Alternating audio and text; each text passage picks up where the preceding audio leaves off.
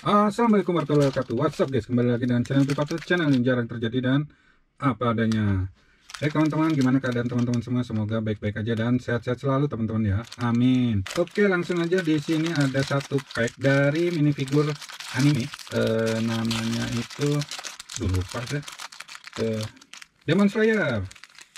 Demon Slayer teman-teman. Mudah-mudahan lengkap nih teman-teman ya. Dapat set ini kalau ini beli online. Dan masih banyak di online kalau teman-teman cari di Tokped atau di Shopee juga ada. Satu setnya ada isi 1 2 3 4 5 6 6 7 8 9 oke. Harusnya 6 cuman ini kayaknya di luar di luar sesi ini kayaknya. Di luar webnya ini kayaknya teman-teman. Oke lah. Sebelum kita bongkar dan rakit Buat teman-teman yang baru ketemu sama channel ini, baru nonton channel ini, bisa support langsung channel ini dengan klik tombol subscribe-nya, like, share, dan komennya. Jangan lupa. Oke, sebelum kita rakit ini, bumper dulu sebentar, oke?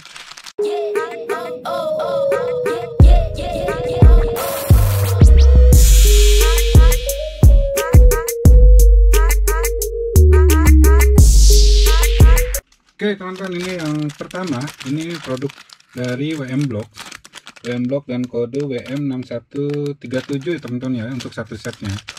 Cuman kalau yang ini nomornya WM2336 2336 kita coba urutkan dulu. Kita langsung buka aja teman-teman ya. Oke. Yang pertama ini kita dapat Shinasugawa genya Oke, agak susah-susah juga ya teman-teman untuk nyebutinnya. Oke, ini bagian penampakan bagian depan. Untuk print-printannya benar-benar luar biasa, full print. Samping, belakang, depan, wah mantap. Dapat double face print juga dan kelihatan di sini ada bekas luka di mukanya teman-teman ya. Dan ini bagian yang lagi marahnya dengan mata merah dan ada luka sedikit luka di pelipisnya. Oke, kita langsung rakit aja tanpa berlama-lama. Untuk lengannya juga terprint ya teman-teman ya. Ada print-printannya. Kemudian lanjut tangannya untuk bahannya cukup lentur jadi nggak terlalu susah teman dan bagian rambutnya keren banget. Dengan gaya rambut yang baru teman-teman ya. Untuk bagian sisi sini emang nggak ada rambutnya. Bagian tengah mungkin mohak mungkin ya dia. Cuman ya gitu loh oke kita langsung rakit aja untuk pedangnya. Dapat dua bagian gagang dan bilah pisaunya teman-teman. Kita tancapkan aja langsung. Dan kalau teman-teman bisa lihat di sini di pedangnya ini ada tulisannya nih. Mungkin tulisan pemiliknya mungkin ya. Dan dapat sarung pedangnya. Untuk teman-teman yang mau lihat koleksi Demon Slayer atau Demon Slayer atau Kimetsu no Yaiba ada di sini teman-teman ya. Ini yang wave pertama. Kalau ini yang wave kedua nih teman-teman. Kita lanjut kita pasang di sini. Di WM Block 6137 ini ada WM 2337 teman-teman. Shinasugawa Sanemi saya nggak nggak baca di manganya cuman saya lihat di animenya ini namanya sama apakah adik kakak beradik mungkin teman-teman? Kita langsung buka aja produk WM Block ini emang benar-benar luar biasa. Harga terjangkau dan detailnya sangat-sangat wow WOW bagian belakang detailnya bagian punggung kaki belakang samping bagian depannya luar biasa bisa terprint sampai sedetail ini. Full print teman-teman ya. Dapat double face print juga. Waduh mantap. Yang satu yang tersenyum yang satu kayaknya mode battle kayaknya teman-teman ya. Oke ini ada ya tau nggak tahu deh. Oke daripada salah nanti. Oke kita pasang dulu untuk lengannya terprint juga untuk lengan yang satunya dan bagian tangannya. Kemudian untuk rambutnya keren banget.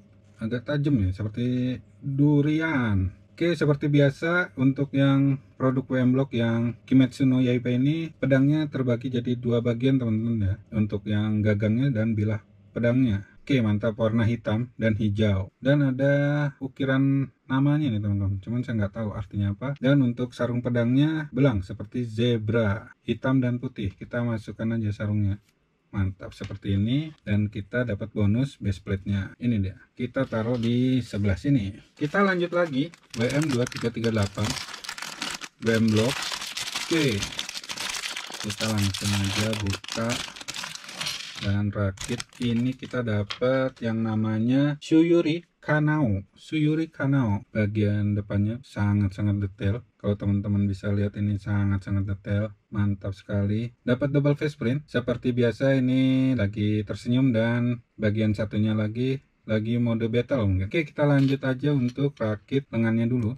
Keren banget. Kemudian ada jubahnya. Kita dapat jubah warna putih. Kita pasangkan ini bagian tangannya jangan sampai kelupaan. Bagian rambutnya seperti ini. Keren banget. Dan kita dapat kepangnya teman-teman ya. Rambut yang dikepang di bagian pinggirnya. Keren banget keren. Dan seperti ini. Mantap. Kita lanjut untuk rakit pedangnya. Gagang dan bilahnya teman-teman ya. Ini pedangnya warna pink dan warna besi mungkin teman-teman ya. Sedikit abu-abu. Dapat sarung pedangnya warna hitam dengan asen bunga-bunga nih teman-teman. Keren. Mantap banget. Mantap mantap. Luar biasa nih bener WM Block. Oke pedangnya dan si Suyuri Kanao Oke kita taruh sebelah sini yang mantap mantap mantap mantap. Oke kemudian ini WM 2339 teman-teman ya. WM 2339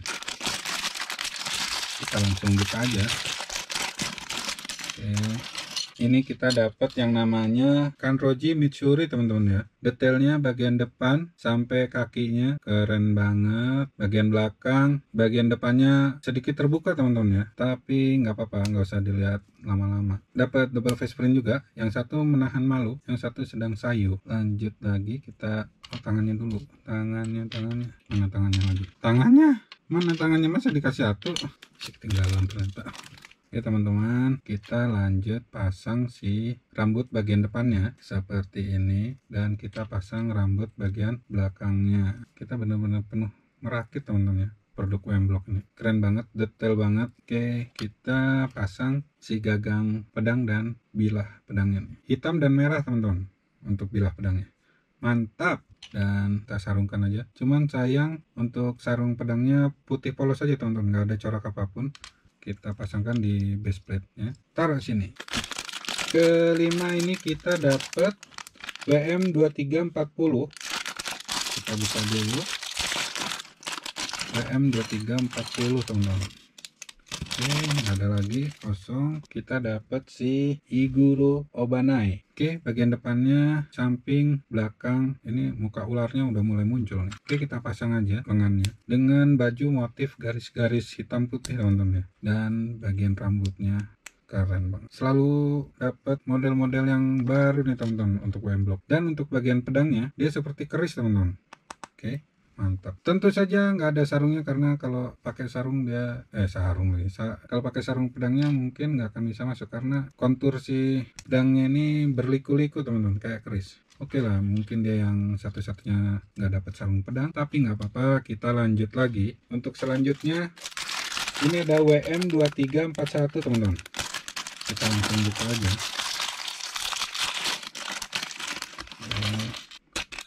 Kosong ini kita dapat si Himejima Gyomei bagian depannya. Eh bagian belakangnya teman-teman punggungnya. Dan double face print. Ini lagi nangis dan ini lagi terpenuh bagian depannya sampai sendalnya jempol kakinya pun terlihat teman-teman. Oke full print. Mantap. Kita lanjut untuk rakit lengannya kemudian lengan satunya dan tangannya. Kemudian dapat jubah warna hijau.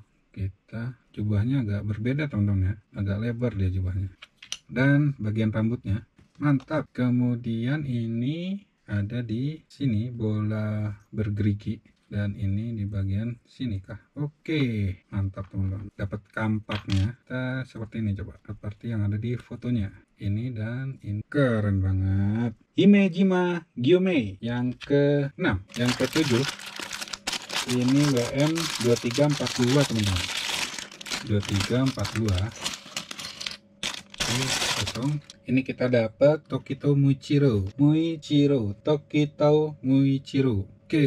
Bagian belakang untuk double face printnya. Seperti ini ini bagian depannya. Kita lanjut pasang lengannya teman-teman. Lengan tangannya. Dan kita dapat rambutnya. Ush, keren banget. Bener-bener keren teman-teman agak susah teman-teman dan takut agak ring kalau dipaksa. Nah seperti ini. Oke jadi kita pasang si bilah pedangnya. Dominan warna hijau dan kuning teman-teman ya untuk pedangnya. Kita masukkan aja ke sarung pedangnya seperti ini dan pasang di lanjut lagi. Ini WM 2343 teman-teman. WM 2343 buka untuk penampakan dari depan bagian belakangnya kita ini dapat di wave kedua ini kita banyak dapat si pilar-pilarnya teman-teman ya. Kita langsung pasang untuk lengannya. Lengannya juga terprint terlihat otot-ototnya teman-teman ya. Otot lengannya yang dulu ternyata terbuang di sini. Oke ini otot-ototnya dan bagian rambutnya yang khas dengan nama Uzi Tengen. Nah, Uzi Tengen ini saya sempat lihat animnya, teman-teman. Ini dia dapat kunci rambutnya. Kita pasang bagian belakang sini seperti ini. Uzi Tengen ini yang di aduh lupa nama ininya, episodenya dengan pisaunya. Pisau kayak pisau daging nih, teman-teman. Gede banget. Dan ini pisaunya ter terangkai di bagian sini. Oke, teman-teman, seperti ini. Dan tentu saja nggak pakai sarung sarung pedang, teman-teman ya. Seperti ini aja. Uzi Tengen mantap. Dengan dua bilah pedangnya. Oke ini nggak tahu ini dalam paket juga cuman kok nggak ada di ininya teman-teman ya. Saya coba cek dulu. Si Tanjiro ini nggak ada di paket ini teman-teman ya. Tanjiro warna biru ini. Cuman dia ada kode WM2344A ada huruf di belakangnya teman-teman. Kita buka aja coba rakit untuk si Tanjiro Tanjiro bagian depan bagian belakang bagian belakang ini bagian depannya dengan baju apa namanya kimono warna biru. Untuk lengannya juga full print teman-teman mantap banget.